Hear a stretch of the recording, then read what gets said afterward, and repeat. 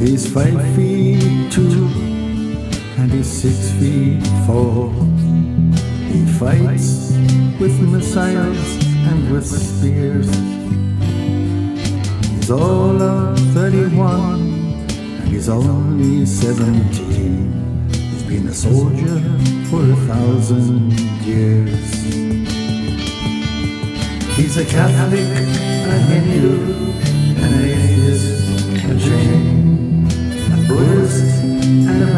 Baptist, and a Jew. And he knows he shouldn't kill, and he knows he always will kill you for me, my friend, and me for you. And he's fighting for Canada, he's fighting for France. He's fighting for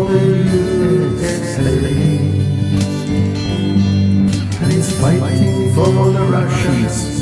And he's fighting for Japan. And he thinks we'll put, an end to war this way. And he's fighting for democracy. He's fighting for the rest. He says it's for the peace of all.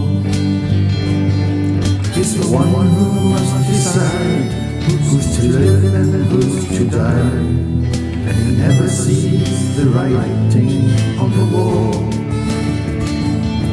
But without him, how Hitler have condemned him at Level? Without him, Caesar would have stood alone.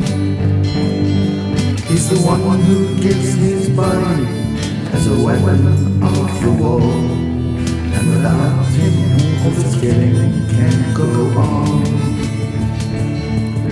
The universal soldier, and he really is to blame.